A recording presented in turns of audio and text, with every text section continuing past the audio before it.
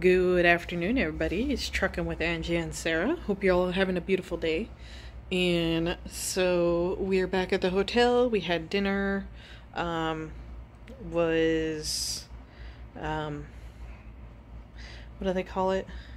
Salisbury steak or something like that, with uh, mashed potatoes and green beans and uh, a roll, a dinner roll, and um, so that was pretty good.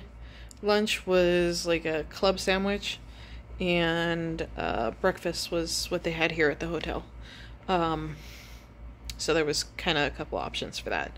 Um, but today we did the uh, driving test, the drug test, the um, backing test, and the obstacle course, and uh, we also did. We had like a three hour long safety video uh, conference call kind of thing. Um, and uh, like I said, we did the drug test.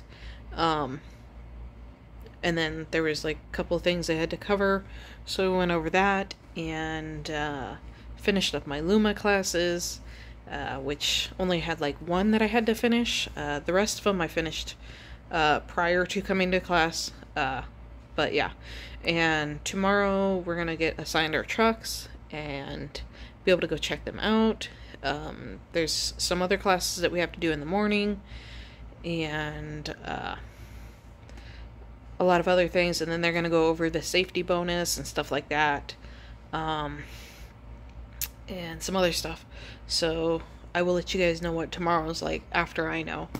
Um, but talk to my boyfriend, talk to my parents already and I am just absolutely exhausted.